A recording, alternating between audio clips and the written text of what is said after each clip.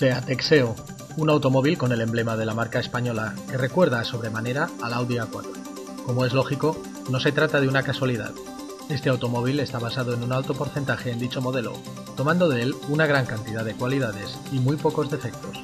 Aún así, el director de comunicación de producto nos asegura que el porcentaje de piezas propias de SEAT en el Exeo es similar al que presentan otros modelos como por ejemplo el SEAT León.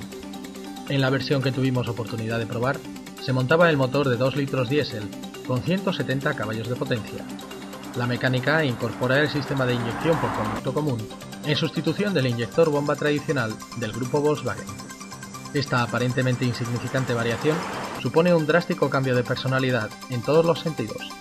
La sonoridad es muy baja, la respuesta muy buena y los consumos claramente contenidos. El cambio está bien adaptado a la mecánica, con un funcionamiento suave, pero que requiere marcar bien el movimiento, limitando con ello la conducción dinámica que permite el conjunto. Por otra parte, los excelentes esquemas de suspensión delantero y trasero, unidos a un equipo de neumáticos de perfil bajo y el elevado diámetro de las llantas, ofrecen un excelente guiado, sin menoscabo del confort de marcha. Dinámicamente, el Exeo es todo aquello que puede esperarse de una berlina confortable, pero añadiendo el toque deportivo que se espera de un SEAT. Lo mejor es que, por el tacto que ofrece al volante, el nuevo Exeo se sitúa además cerca de las marcas premium, al precio de una marca generalista.